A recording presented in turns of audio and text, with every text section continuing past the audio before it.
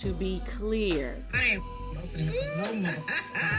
I sold 30 million records, bitch. Let me start with the simple fact because she was like, I wouldn't. I, we ain't opening up for them. I done sold 30 million records, bitch. I'll never be opening up for them. and I was like, okay, here's another example how people can say stuff in the public eye and the public believes it when it's not true. Receipt. Don Juan came through with the receipts, okay?